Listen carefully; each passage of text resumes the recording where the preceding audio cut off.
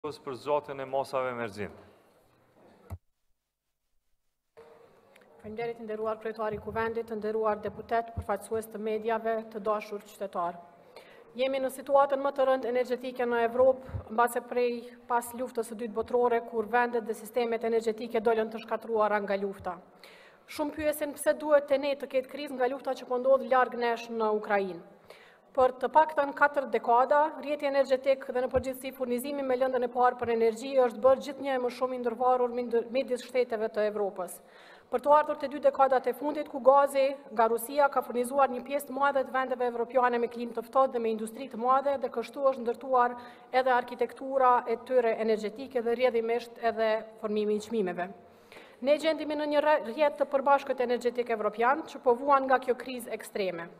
Vendin tonë kjo krizë e gjeti jo të me vetë mjaftueshëm me prodhim të energjisë, termocentralet, hidrocentralet dhe kapasitetet e erës e të diellit, bashkë edhe me hidrocentralet e Shqipërisë, nuk e mbulojnë nevojën që kemi për energji elektrike në të dy vendet, qoftë veç e veç, qoftë të dyja bashkë. Kështu që na duhet një pjesë ta blejmë në treg të jashtëm. Aty çmimet janë rritur në mënyrë marramendëse. prej një çmimi normal të importit të energjisë prej 60 deri 90 euro, çmimi në verë ka arritur më se 1.000 euro për megavat orë ndërsa pritjet për dimrin janë plotësisht të paqarta dhe varen në masë të madhe edhe nga masa që Bashkimi Evropian mund t'i ndërmarrë gjatë javëve në vijim të cilat jemi duke i përcjellur me kujdes. Çfarë mund të bëjë secili e secila nga ne pjesën e tij të vogël është kursimi brenda mundësive në çdo ditë. Çfarë mund të bëjnë familjet është të marrin masa për izolim të shtëpive para se të fillojnë temperaturat e ulta. Të përpiqen të ngrojnë ndërrojnë mënyrën e ngrohjes, pra jo me energji elektrike ose së paku jo me pajisje jo eficiente të energjisë elektrike. Ne si qeveri kemi marrë dhe po vazhdojmë të marrim masa në shumë drejtime, prej kursimit deri tek mbështetja për ata që nuk i kanë mundësitë. Deri tani kemi subvencionuar faturat e energjisë së qytetarëve për të gjithë konsumatorët e shërbimit universal dhe së shpejti do të fillojmë subvencionimin shtesë për ata që kursejnë. Kemi ndaluar mihjen e kriptovalutave, që është aktivitet që shpenzon shumë energji elektrike. Kemi vendosur masa detyruese për kursim në institucione dhe ndërmarrje publike, sepse konsiderojmë që ne duhet të jemi edhe shembul për qytetarët dhe bizneset.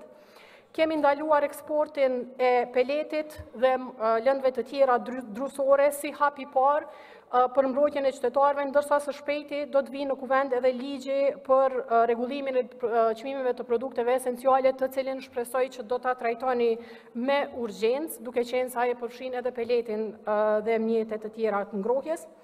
Kemi ndaluar Kemi ndarë 350 mijë euro shtesë për ngrohtorën e qytetit të Gjakovës, duke siguruar kështu siguri të furnizimit me pa rritje të kostos për qytetarët e Gjakovës. Kemi shfuqizuar vendimin që ndalon dhurimin e thëngjillit për punëtorët e KEK-ut dhe pritet që brenda ditëve në vijim të fillojë shpërndarja e thëngjillit për punëtorët e KEK-ut. Kemi ndarë 6 milion euro për subvencionimin e masave të eficiencës për qytetarët për të mundësuar zëvendësimin e ngrohjes elektrike me pajisje jo eficiente, me pajisje eficiente ose me mënyra tjera të ngrohjes. Ne, si qeveri, do të vazhdojmë të bëjmë gjithçka që është e mundur për ta lehtësuar krizën për qytetarët dhe bizneset tona, Ndërsa nga ju si deputetë të Republikës së Kosovës sot kërkojmë që të na mundësoni që të marrim masa të tjera në vijim. Për këtë kërkojmë edhe solidarizim të qytetarëve, na duhet me të vërtetë një solidaritet i rrallë si asnjëherë më herët që t'ia dalim. është një moment për mobilizim të përbashkët para krizës më të madhe energjetike në vend dhe në Evropë, Andaj ju lutem që ta votoni sot propozimin e qeverisë për vazhdim të masave eficiente dhe gjithashtu ju lutem secilit prej jush që të bashkëngjiteni në kursimin e energjisë si dhe në thirrjet për kursim të energjisë në mënyrë që të jemi shembull për qytetarët. Ju faleminderit shumë.